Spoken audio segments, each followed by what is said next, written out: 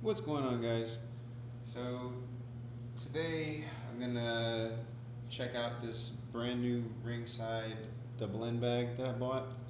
My uh, old RDX one has just died about completely.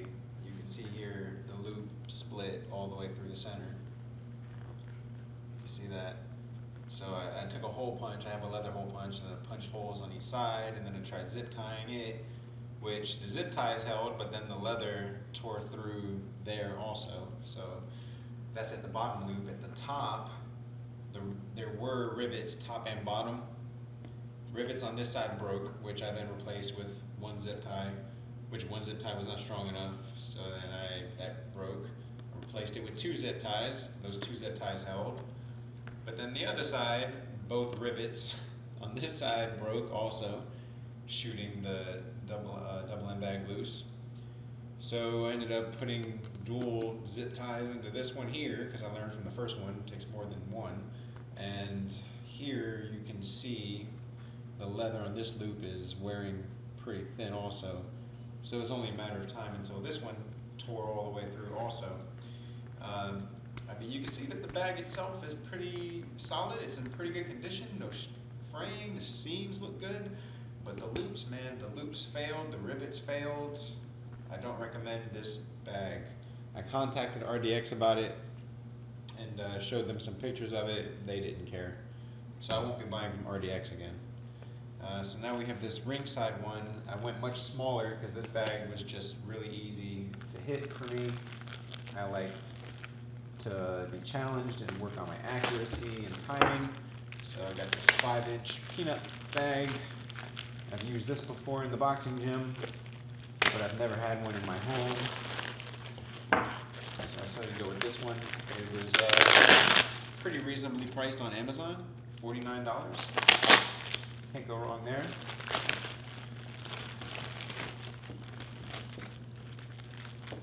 Hmm. Came with some rubber bungees. I don't think I'll be using these because I have my own setup in there already that I had from the other one.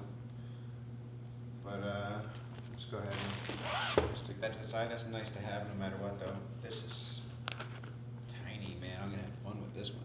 Wow. So uh, yeah, all right. This this is nice. This looks like it's well constructed, I gotta be honest. This looks like it's better constructed than the uh, RDX one. I like the stitching. The loops are, man, they look very durable. Long loops, this looks good. I like this. This looks like it's gonna take a beating. So, uh, yeah, all right. Yeah, check that out. I like this little ball give you a little bit of uh, a comparison, a little side by side here.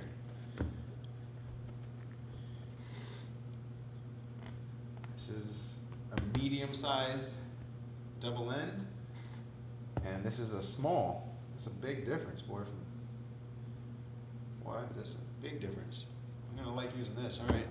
Saying I've inflated the new double end bag, so if you'd like to see those next to each other, it's pretty cool. Here's the uh, old one versus the new one fully inflated.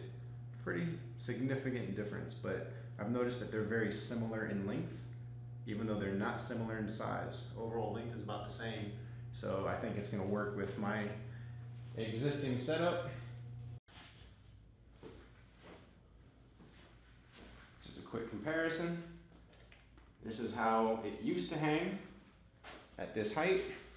You can see this is about the same. It's very, very close.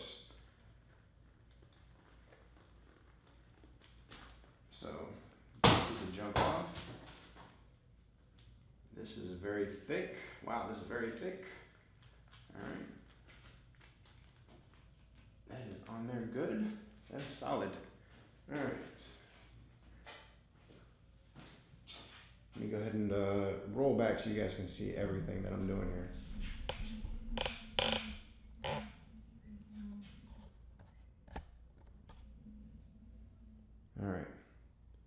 Yeah, making videos is damn near as hard as boxing.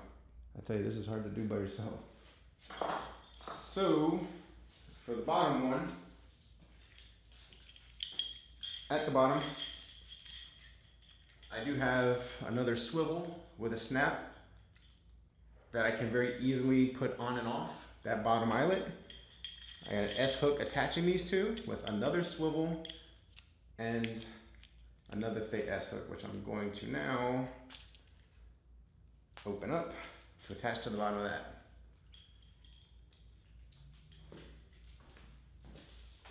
So you see this will go right through this bottom loop, very simple. And then I grab my little snap swivel, and there it is. It's that easy.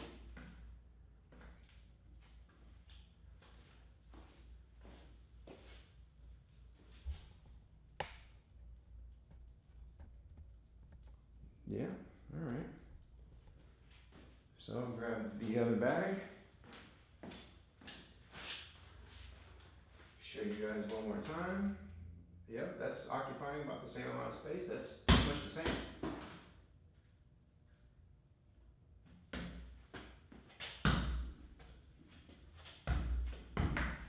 Oh shit, that is hard.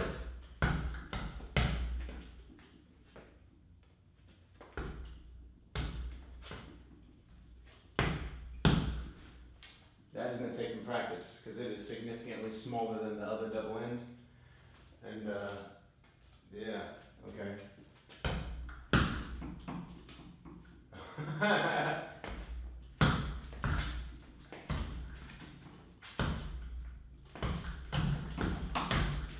okay, I'm gonna have fun using this.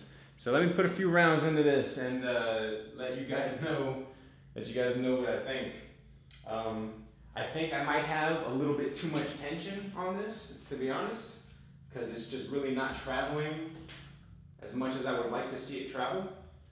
Even though I gotta tell you, it's that's not bad because you want to you want to try to replicate being in the ring with somebody, and their head only moves so much, and that's actually very difficult to hit.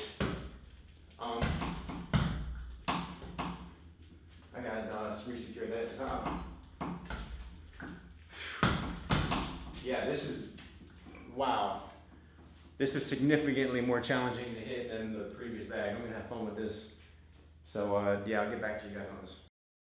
All right, guys. So I've put a few rounds into this double end bag uh, the night I bought it, uh, and it's been a few days since. So I've gotten a good bit of use on it. There were some reviews saying that it was losing air pressure, and that they had uh, people were having to inflate theirs. Um, mine's been good. I had to put a couple pounds into it today but it hasn't been deflated. You know, people were saying that theirs was completely deflated. Um, mine wasn't. It just lost a couple pounds. And if you guys have, I mean, if you have something like this in your home, you should have an air pump. Uh, something like this here is like ten dollars. I mean, I have a big compressor back there, but there's no point in firing that up for something like this, which was ten bucks on Amazon, and I just leave it on the shelf. It takes like 30 seconds to put a couple pounds into that.